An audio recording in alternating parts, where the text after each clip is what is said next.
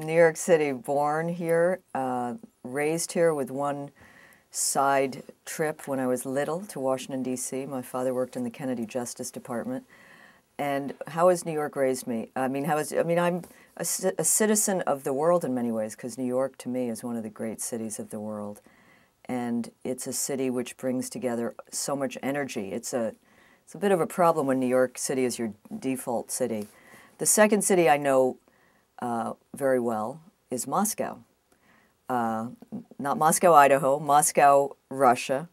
And I have to say that Moscow competes with New York in the sense of energy and pace and power and finance and culture. And so uh, those are the two cities which have shaped me. I've spent, uh, I've lived in Moscow off and on since 1985. I was always interested in uh, politics, broadly defined. I've never thought of politics as simply electoral politics. So I was interested in journalism as a way to, if I might sound grand, I was interested in journalism as a way to change the world or to make the world better, to make the world more just. Um, and to me, uh, advocacy journalism, where you're very honest and upfront about your values and principles, is what attracted me to my work today. Uh, I think I might have become a lawyer, uh, and I might have gone into electoral politics but uh, this brings together a lot of what I care about. Yes.